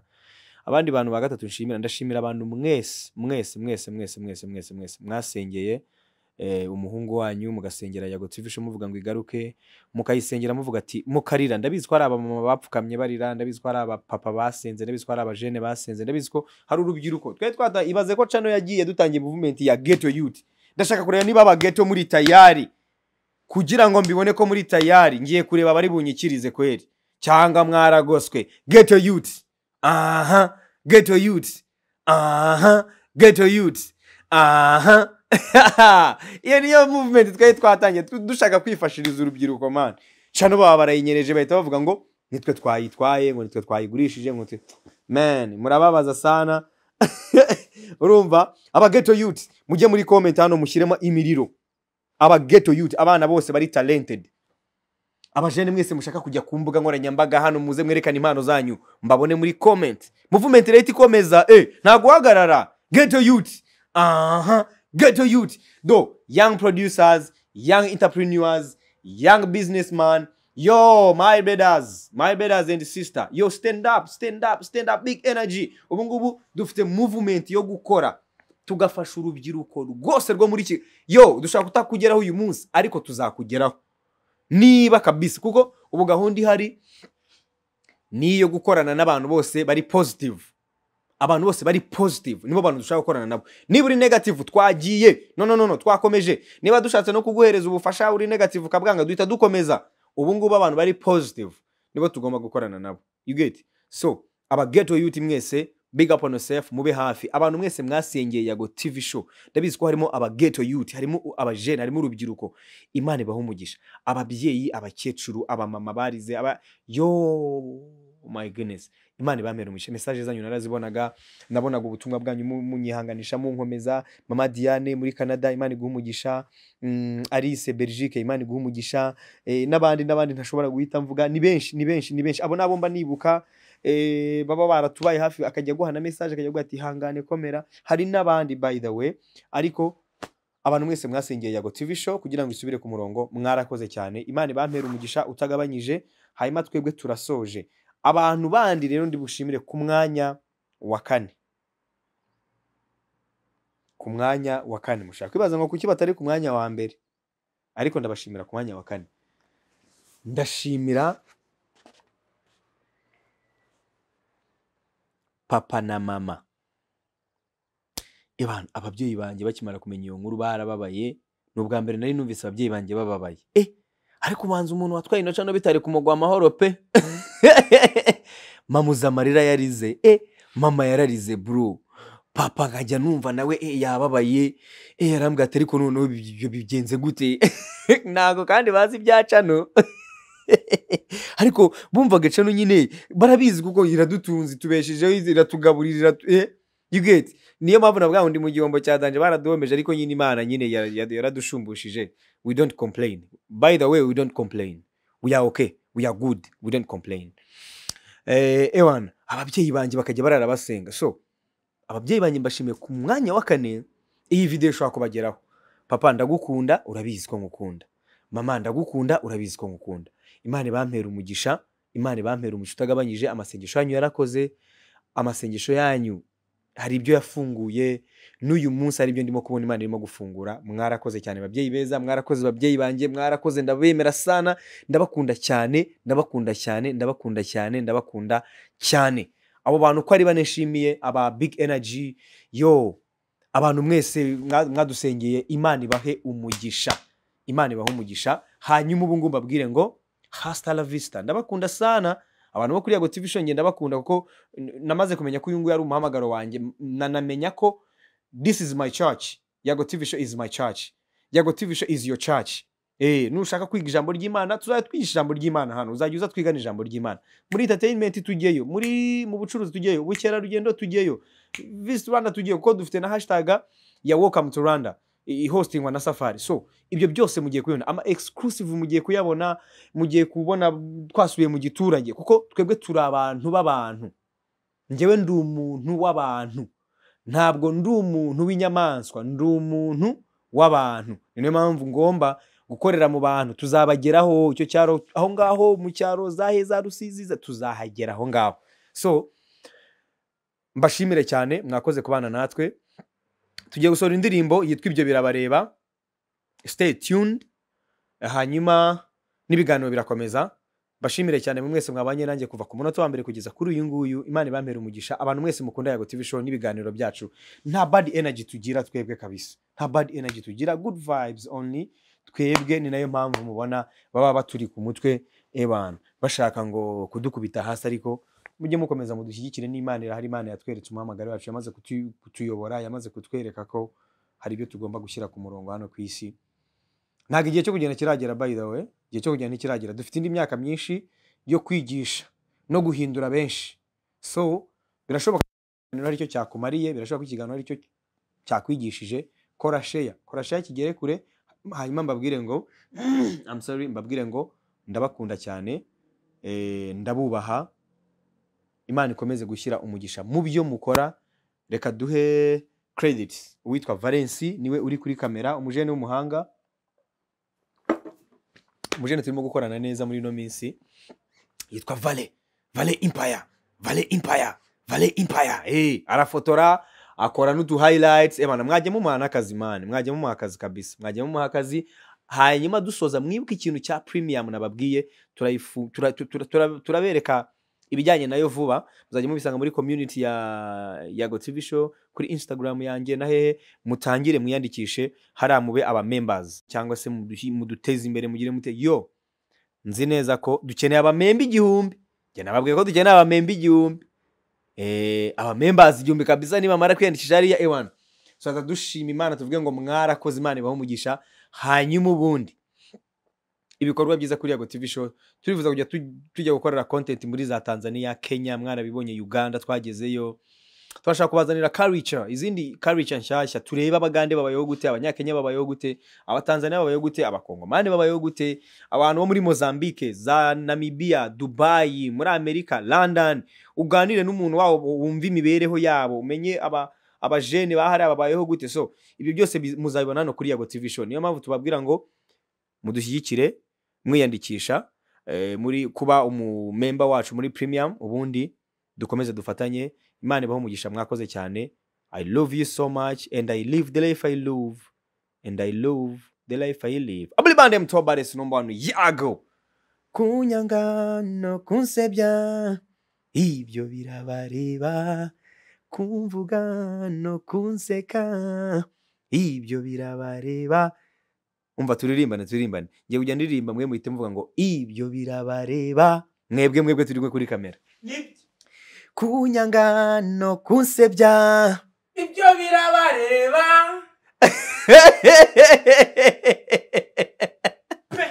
Ita ngwino wicare hano. Ngwino wicare hano. Ngwino wicare hano.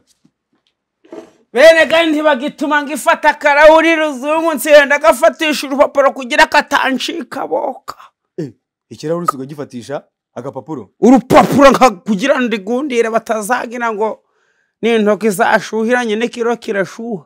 None se urwo ni urupapuro? Kunsebya no kunyanga. Ibyo birabareba. Koko ni byo. Tugiye gusohora indirimbo yitwa ibyo birabareba. Korasi yayo igenda gutya. Iravuga ngo iravuga ngo isa uzajya wikiriza. Namwe tugiye kuririmbana. Mwe muzamuririmba ngo ibyo birabareba. Gutyo. Kunyanga no kunsebya ibyo birabareba. kumvuga no kunseka ibyo birabareba. sindi kumwe namwe. umuntu wanga umuntu batavukanye umuntu wanga undi. Ibyo birabadunya. Ibyo birabadefiriza. Bazabasuka ibiryamye murambabarire Mm. reka pu. Umuntu ugira urwangwa araka Bazamu- bazabasuka ibiryamye bazabadefirize nibarangiza babasuka ibiryamye yo dusoje ikiganiro gutya hanyuma mutegereze ikiganiro cyanjye na isa new boy afite ishaza ritabaho nawe cano byamugezeho ko ubu se nanywaga nanywaga amazi go gumweru derenge nimfatishije agatambaro ndi kugira ko itancikada wabona barandogesheje barabanyaga bagiraga n'uburozi buhuhaga wabona barambushe. Kwa kino naraha. Ndabisabye ndabisabye ndabiyamye kwagamanywa izuba rirashe kunyanga no kunsebya. Ibyo birabareba. Kumvuga no kunseka. Ibyo birabareba. Kunyanga no kunsebya Ah, kino kirahuri cy'amazi gino rero mushaka kukinyweramo ntacyo muzanyweramo pu gatembanywe na nyamukongoro kawe